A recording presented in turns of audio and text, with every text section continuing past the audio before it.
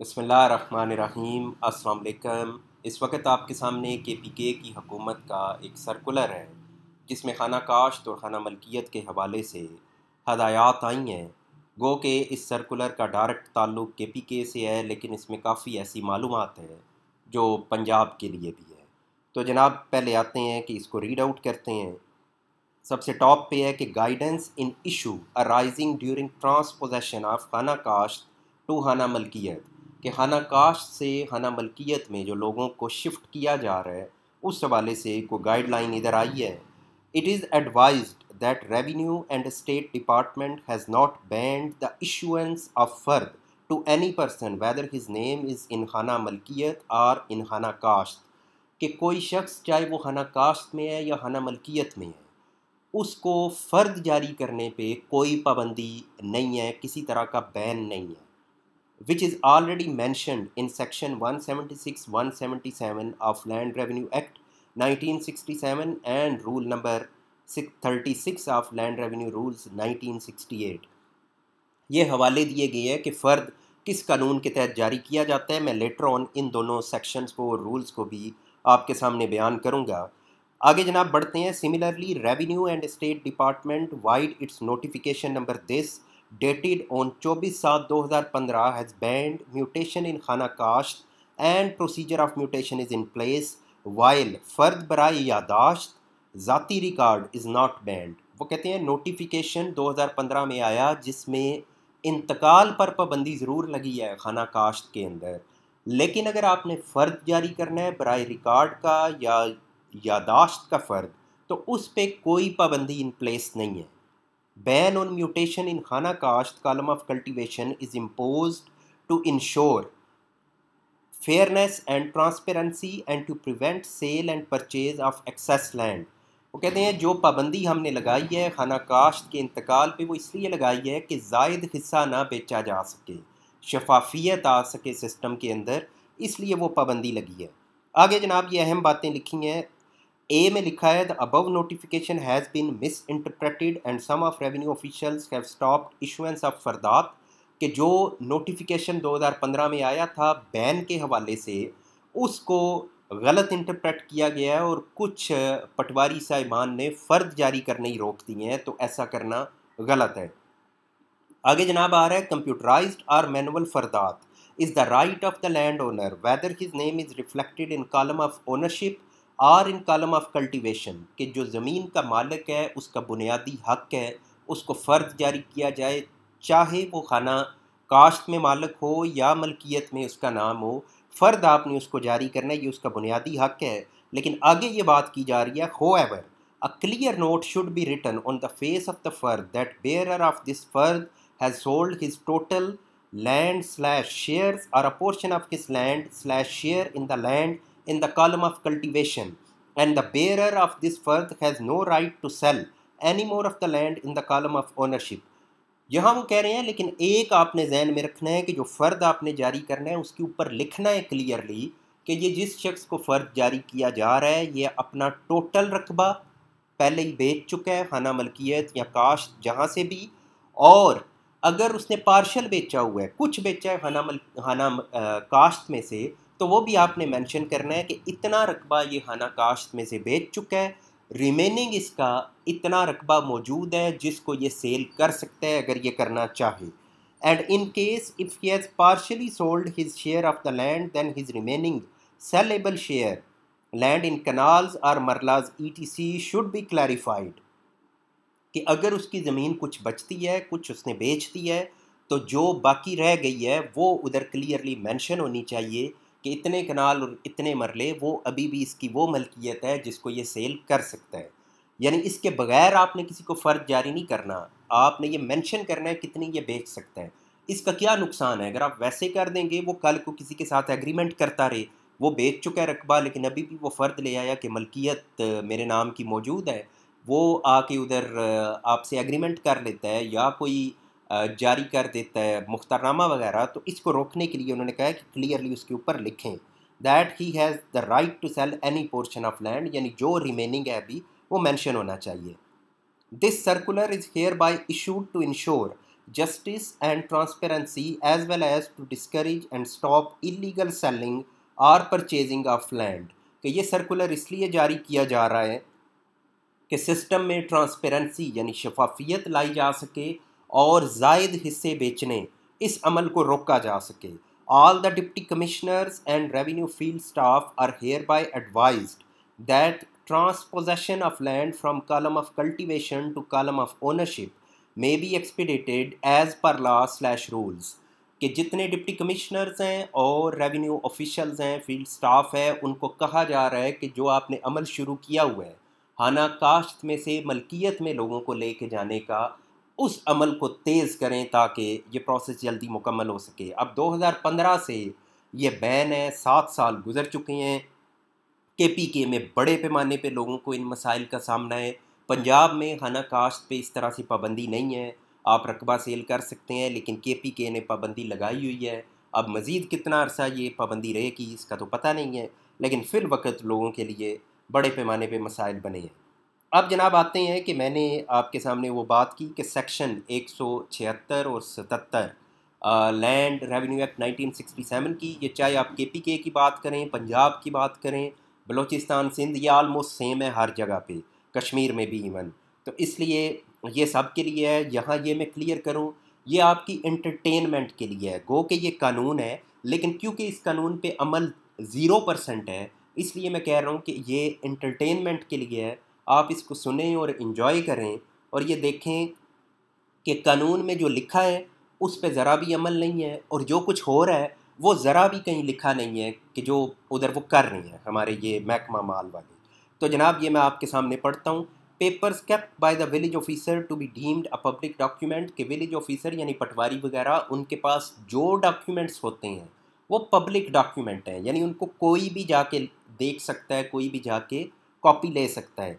Any record और paper which a village officer is required by law और by any rule made under this act to prepare or keep shall be deem to be the property of the government कि जो भी उनके पास पड़ा हुआ है, पटवारी साहिबान के पास, वो गवर्नमेंट की प्रॉपर्टी है।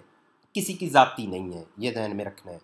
Number two a village officer shall अब ये शेल का लफ्ज़ जो है ना, ये कानून में बड़ा अहम होता है। शेल यहाँ आ जाए, उसका मतलब होता है कि लाजमी करना है।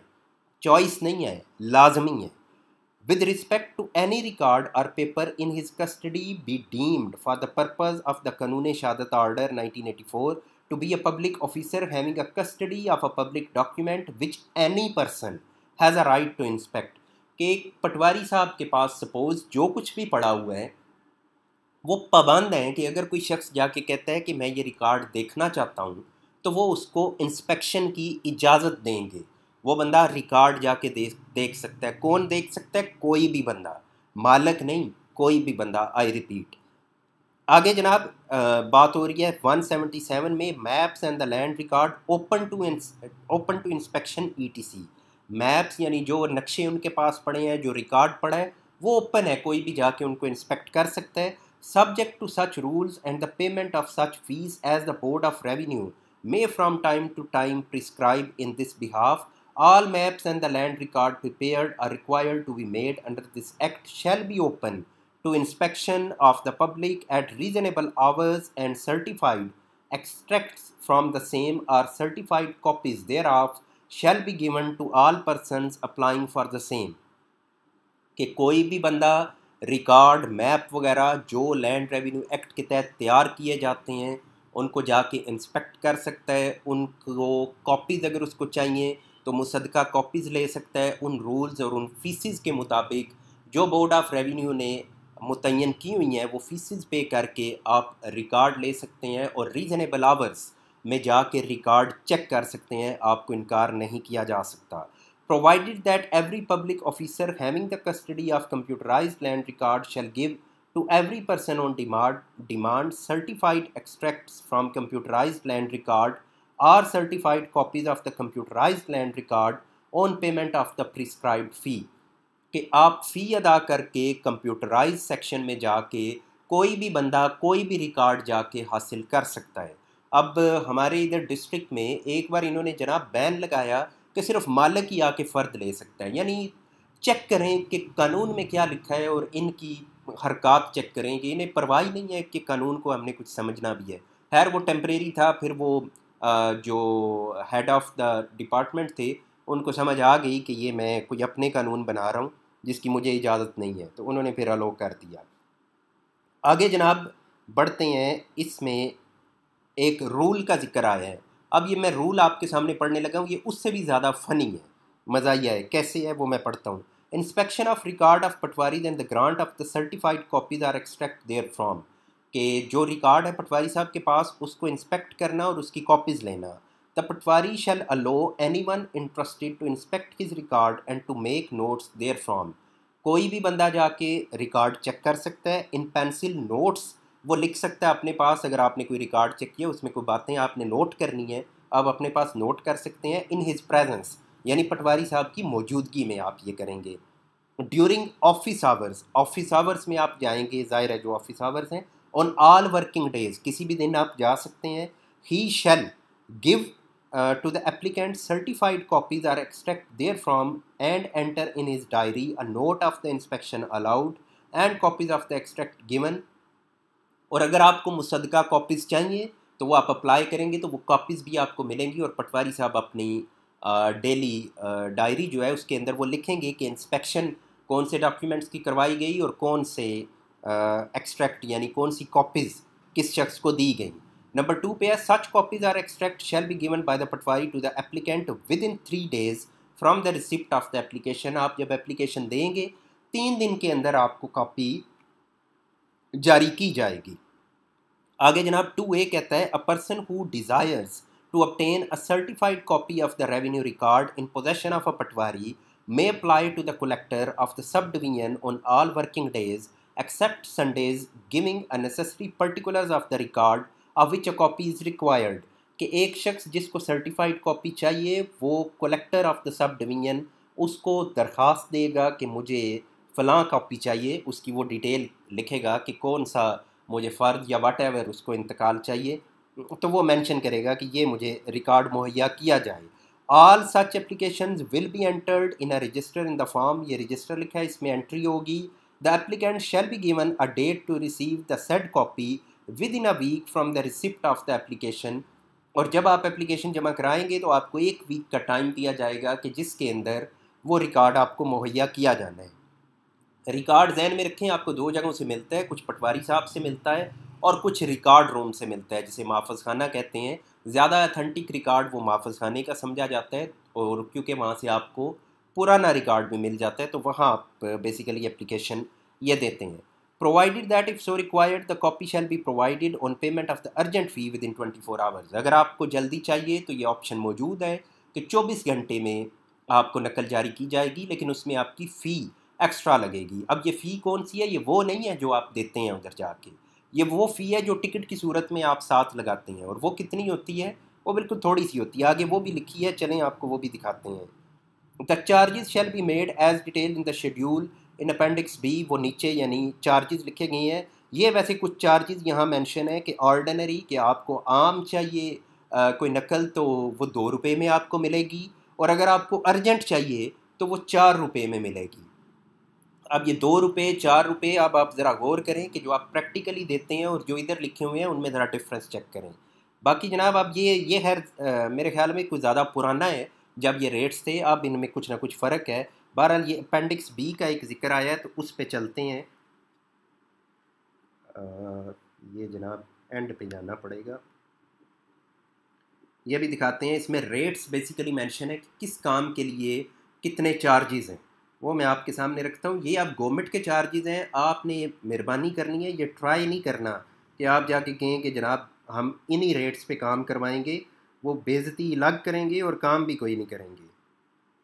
तो इसलिए अपनी इज़्ज़त बचाएँ, जो वो मांगते हैं, वो आपको देना ही पड़ेगा। जाएँ जाके डीसी को भी शिकायतें करते फिर, फिरें। डीसी साहब ने भी कोई ताउन नहीं करना आपसे। उन्हें भी पता है कि जो माल आता है, वो हम तक भी पहुँचता ही है। तो जनाब, ये इसमें लिखा है कि copies of the extract charges कि ये जो किस काम के लिए कितने चार्जेस हैं ये मसम नक्शा हकदारान इज्तमाल रुपीज़ फ़िफ्टी पर खाता। इस तरीके से ये लिखा हुआ है कि किस काम, शजरा नसब आपको चाहिए रुपीज़ फ़ोर पर आइटम, ये लिखा हुआ है। अब इसी तरीके से वो सारी तफसील है। फ़र्द फ़ी इस्तेमाल रुपीज़ टेन पर खाता। यानी जो कुछ आपको चाहिए, ये सारी तफसील आपको यहाँ मिलती है कि फ़ी का शेड्यूल क्या है। लेकिन वंस अगेन ये मैंने आप समझ लें इंटरटेनमेंट के लिए आपके सामने ये मालूम रखी है। इसका कोई लेना देना नहीं है हकीकत से ना ही ये फ़ीस से आपको कभी फ़र्द मिलेगा या किसी तरह का रिकॉर्ड मिलेगा। इसलिए जो मामूल में चल रहा है आप उसी के मुताबिक चलें। जो फीसिस आपको देनी पड़ती हैं। कानून ये मज़ाक के लिए समझ ले बनाए। इसका कोई लेना देना नहीं है हकीकत से बदकिस्मती से। क्योंकि करप्शन ये इनका आप कह लें ज़रिया माश है। हमारे ये तमाम ऑफिसर्स का, इसलिए ये करप्शन कभी भी ख़त्म नहीं होने दे सकते। आप जो मर्ज़ी कर लें। डीसी साहब आपके सामने इतने नेक बनेंगे, पता लगेगा कि सबसे दयानतदार बंदा शायद हमारे पूरे ज़िले में यही है। लेकिन जब उनके मतलब नीचे जितना स्टाफ है, वो दलेरी के साथ अगर रिश्वत ले रहे हैं तो फिर आप खुद अंदाज़ा लगा रहे हैं वो कितने की दयानतदार है। वो सिर्फ़ बनते हैं, वही खाने वाले दांत और हैं, दिखाने वाले और हैं। जो खाने वाले हैं वो बड़े तेज़ हैं, दिखाने वाले जो हैं वो नज़र आते हैं कि जनाब ये, इससे तो ये कुछ खा ही नहीं सकते। तो ये जनाब कुछ इन्फॉर्मेशन भी थी और प्लस जो के पी के के हवाले से नोटिफिकेशन था, वो आपके सामने रखना था। बाकी फर्दर इन्फॉर्मेशन आपसे फिर शेयर होगी।